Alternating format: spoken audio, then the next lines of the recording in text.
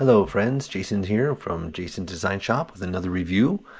I needed a big drill, so I picked up this at Harbor Freight. Goes together really easy. Just get that handle on there and unwrap the wires and you're good to go. It uh, feels pretty heavy, solid, and uh, got a metal casing in there. So it's pretty strong. Been working good for me. But I bought it to go with these lumberjack mortise and tenon tools, right? They got the three inch and the two inch, and the drills to go with them as well for the mortises and put it on there and try it on a log and it just walks in so smoothly and easy like cutting through butter. Hey if you want to see this full review uh, subscribe and check out my channel. And while you're there give me a thumbs up. Thanks friends. Later